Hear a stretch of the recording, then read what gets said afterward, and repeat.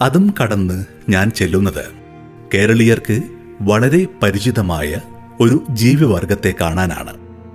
ആ ഗാർഡ് എന്നെ അവിടേക്ക് കൂട്ടിക്കൊണ്ടു പോവുകയാണ്. ചിലപ്പോൾ നിങ്ങൾക്ക് ഭയം തോന്നിയേക്കാം. കഴിഞ്ഞ കുറച്ച് കാലങ്ങളായി നമ്മെ ഭീതിയിലാഴ്ത്തിയ വൈറസ് പരത്തുന്ന ഫ്രൂട്ട് ബാറ്റുകളാണ് ഇവിടെ തൂങ്ങിക്കിടക്കുന്നത്.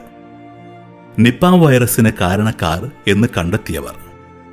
ചില ശബ്ദങ്ങൾ ഉയർത്തി അവർ അവരുടെ സാന്നിധ്യം അറിയിക്കുകയാണ്.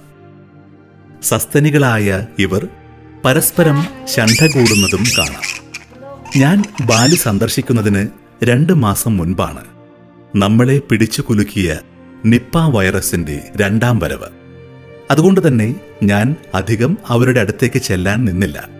പിന്നെ അവിടെ വെച്ചിരിക്കുന്ന ബോർഡ് കണ്ടപ്പോഴാണ് എനിക്ക് ആശ്ചര്യം തോന്നിയത്. ഈ ബാറ്റുകളെ കയ്യിൽ പിടിച്ച് ഫോട്ടോ ചിത്രീകരിക്കുന്നതിന് അറുപതിനായിരം ഇന്തോനേഷ്യൻ റുപ്യ കൊടുത്താൽ മതിയത്രേ.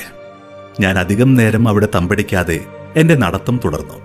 അവയെ കാണുമ്പോൾ നിപ്പ വൈറസ് പരത്തിയ ഭീതിയും ഇക്കാലത്തിറങ്ങിയ വൈറസ് എന്ന സിനിമയുമാണ് ഓർമ്മയിൽ വരുന്നത്.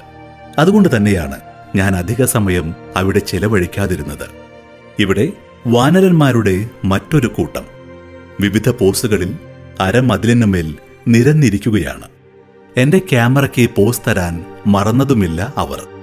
ദേവരുത്തൻ എന്റെ ക്യാമറയെ ലക്ഷ്യമാക്കി വരുന്നു. അധികം അവിടെ ചിലവഴിക്കാൻ ഞാൻ നിന്നില്ല. ക്യാമറ സാമഗ്രികൾ താറുമാറാക്കാൻ. അവർക്ക് അത്ര സമയമൊന്നും വേണ്ട കേട്ടോ. അവിടെ പാത്വേകളിലെ ഫ്ലോർ ക്രമീകരിച്ചിരിക്കുന്ന രീതി എന്നിൽ കൗതുകമുണർത്തി. പ്രകൃതിദത്തമായി കിട്ടുന്ന ഉരുളൻ കല്ലുകൾ അടുക്കി വെച്ചാണ് ഇവിടെ അത് തീർത്തിരിക്കുന്നത്. അവിടെ നിന്നും മുന്നോട്ട് പോകുമ്പോൾ ഒരുപാട് വിൽപ്പന കേന്ദ്രങ്ങൾ പൂട്ടിക്കിടക്കുന്നത് കാണാം. അവിടേക്ക് ആ ഗാർഡ് എന്നെ കൂട്ടിക്കൊണ്ടു പോവുകയാണ്. ഇതെന്താണെന്ന് ഞാൻ ചോദിച്ചപ്പോൾ അവർ എന്നോട് പറഞ്ഞത് ഇത് ഓരോ ഗാർഡുകൾക്ക് കൊടുത്തിട്ടുള്ള മുറികളാണ് എന്നാണ്. ഇവിടെ വരുന്ന ഓരോ യാത്രികരെയും സംരക്ഷിച്ച് തിരികെ വരികയാണെങ്കിൽ ഓരോരുത്തർക്കും അവരവരുടെ വിൽപ്പന കേന്ദ്രത്തിൽ പോയി കരകൗശല വസ്തുക്കൾ വിൽക്കാവുന്നതാണ്. ഗാർഡുകളുടെ സർവീസ് ഇഷ്ടപ്പെട്ടവർ ഗിഫ്റ്റിന് പകരം ഈ രീതി സ്വീകരിക്കുന്നു.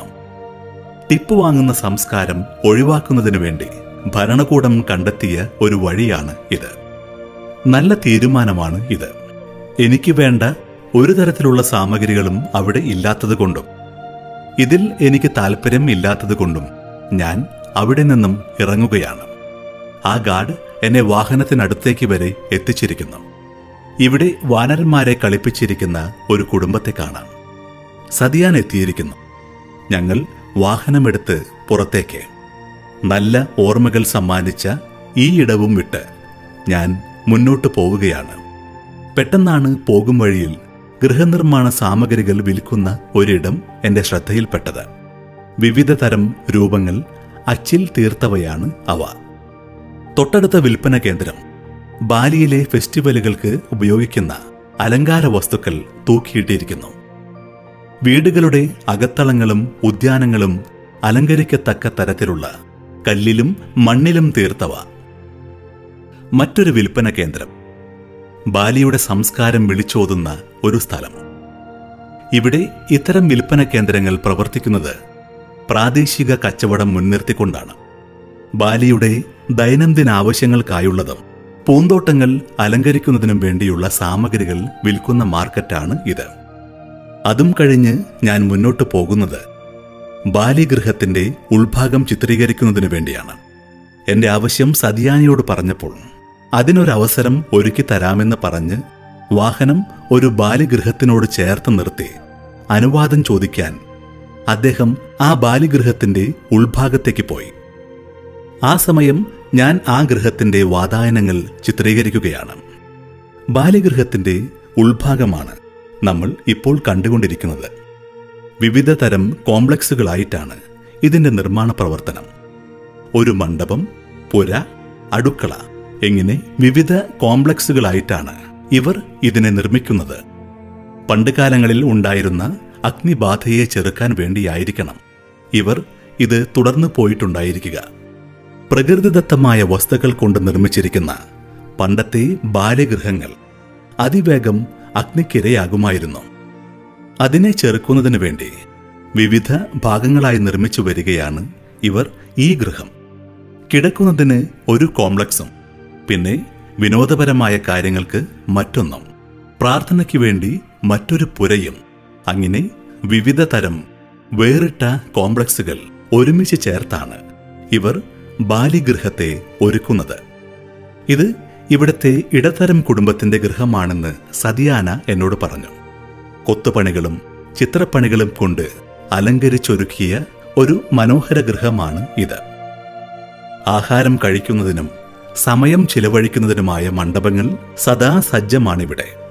ഒരു റിസോർട്ടിനോട് സാമ്യം തോന്നുന്ന തരത്തിലുള്ള ഇത്തരം ഗൃഹങ്ങളിൽ ഹോം സ്റ്റേ നടത്തുന്നതിൽ സഞ്ചാരിക്കൂട്ടം വരാറുണ്ടത്രേ. ഈ ബാലഗൃഹത്തിന്റെ വിവിധ ഭാഗങ്ങൾ ഞാൻ ചിത്രീകരിക്കുന്നത്. എന്റെ പ്രേക്ഷകർക്ക് ബാലി ജനതയുടെ അവബോധം നിങ്ങളിലും ഉയർത്താൻ വേണ്ടിയാണ്. ഈ യാത്രയിൽ ഞാൻ പ്ലാൻ ചെയ്യാത്ത ഒരുപാട് കാര്യങ്ങൾ കടന്നു പോയിട്ടുണ്ട് അത് തന്നെയാണ് ഈ സഞ്ചാരിയുടെ മുതൽക്കൂട്ട്. അത്തരത്തിലുള്ള അനുഭവങ്ങളിൽ ഒന്ന് തന്നെയാണ് ഇത്. ഗൃഹത്തിന്റെ അത്യാവശ്യ കാര്യങ്ങൾ ചിത്രീകരിച്ചതിന് ശേഷം ഞാൻ സതിയാനയോടൊപ്പം പുറത്തേക്ക് ഇറങ്ങുകയാണ്. ഉച്ചസമയമായിരിക്കുന്നു. എന്റെ യാത്രയിലെ മറ്റൊരു ആകർഷണമായ ബീച്ച് സന്ദർശനമാണ് ഇനിയുള്ളത്. അതിനു മുൻപായി തിരികെ ഹോട്ടലിലേക്ക് പോയി ഒരു മൂന്ന് മണിക്ക് ശേഷം ബീച്ച് ചിത്രീകരിക്കാമെന്നാണ് കരുതുന്നത്. സതിയാനയോട് വാഹനം ഹോട്ടലിലേക്ക് എടുക്കാൻ പറഞ്ഞുകൊണ്ട് ഞാൻ ഇങ്ങനെ ഇരിക്കുകയാണ്.